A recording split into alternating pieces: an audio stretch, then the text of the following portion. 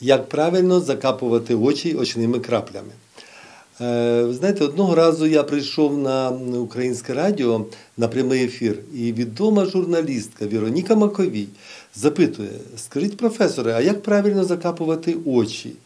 І ви знаєте, я задумався. І я сказав: головне правило закапування крапель в око.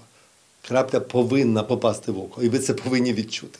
Щоб ви розуміли, що крапля, коли попадає в око, то практично е, йде трошки таке подразнення.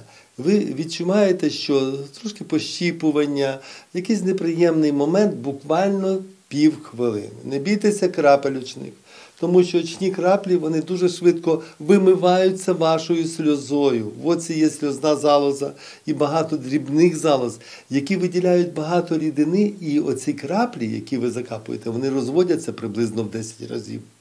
І коли бояться там концентрації, я всім пояснюю, крапля очна вона не попадає практично в організм, вона попадає місцево або в око.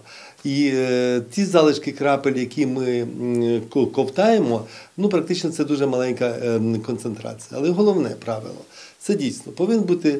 Е, у вас е, якась серветочка, чиста серветочка для того, щоб допомагати закапувати крапельки. Перше, що ви робите, ви контролюєте, щоб краплі були закриті повністю. І коли відкриваєте, щоб був отакий звук, як тільки що ви відчули, що потріскування. І от е, коли ви побачили, що ви відкрили, отут є, як ви бачите, отакий профілактор. Ви його зніміть, тому що ви обов'язково, коли будете закапувати, воно просто отак впаде на око. І ви злякаєтеся. Обов'язково ви відкрутили, ще раз показую, ви відкрутили і потім зняли оцю частинку і викинули. І потім закрутили знову.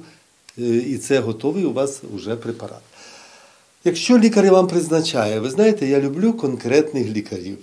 Коли мені призначає лікар 2-5 разів на день, то я хочу запитати в лікаря, то два рази на день закапувати чи 5 разів. Ви повинні чітко запитати в лікаря. Лікарю, мені закапувати 4 рази на день чи 5. Це ж різна концентрація препарату, тому що в око попадає більше препарату. І я стараюся чітко формулювати. Різні препарати є для різних захворювань, і треба їх рекомендувати саме скільки, скільки потрібно. Якщо ви чітко сформулюєте скільки разів і підкреслите пацієнту, ви отримаєте більшої поваги пацієнта, ніж ви собі навіть подумали. Так от, ви повинні попросити пацієнта подивитися догори. Потім ви відтягуєте нижню повіку, показую на собі, тому що я користуюсь сльозозамінниками, у мене є синдром сухого ока. Ви підняли догори око, відтягнули нижню повіку і повернули ось таким чином е, саму цю пігулочку і притиснули, і отримали одну краплю. Одну краплю. Є пацієнти, які приміняють е, краплі, які обезболюючі. Е, бувають нестероїди або ще щось.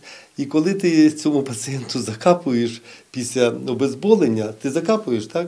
А бабуся тобі каже, не попав. Чому? Тому що вона не відчула. Через те треба просто казати, я зараз вам закапую одну крапельку, обов'язково пацієнту. І ви повинні все-таки закапувати саме одну крапельку. Дивіться, ось вона, ця крапелька. Натискаєте, натискаєте і отримаєте момент, коли закапали. І от цієї капельки е, достатньо для ока, для десятьох очей хватає його, але просто меншої каплі в природі не існує. Розумієте? Е, закапуйте, будь ласка, так, як прописали лікарі. Ви закапали і ви повинні відчути. От правильно пацієнтка моя сказала, що я відчула, що попало. І е, коли ви відчули, що попало в око, це дуже добре. Якщо ви не відчули, що крапля попала в око, якщо ви старшого віку, якщо руки тремтять або ще що, попробуйте ще раз. До того часу, поки не відчуєте, що крапля попала в око, ви не закапали. Як тільки ви відчули, все достатньо. Чи лишнє буде, якщо ви закапали підряд одну, дві, три каплі, лишнє не буде. Ви кліпнули і око не видавлює лишній е, медикамент, який має бути в оці. Е, Краплі, начебто, легенька штука, така, яку треба капати, але потрібно все-таки знати от такі правила. Е, повинні бути, обов'язково знімаєте оцей протектор, тому що він може попасти в око і отримаєте травму невеличку. І обов'язково крапля повинна попасти в око. І як запитують, е, витирати ваткою від виска до носа чи від носа до виска.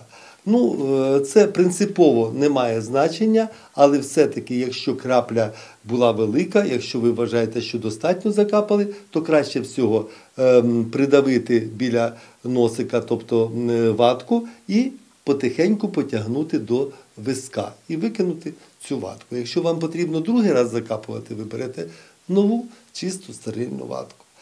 Е, Ви знаєте, в офтальмології краплі вони зробили свою революцію, е, тому що раніше цього не було, а тепер ми маємо кортикостероїди, нестероїдні препарати, антибіотики, антисептики, протиглоукомні препарати, препарати вітамінні.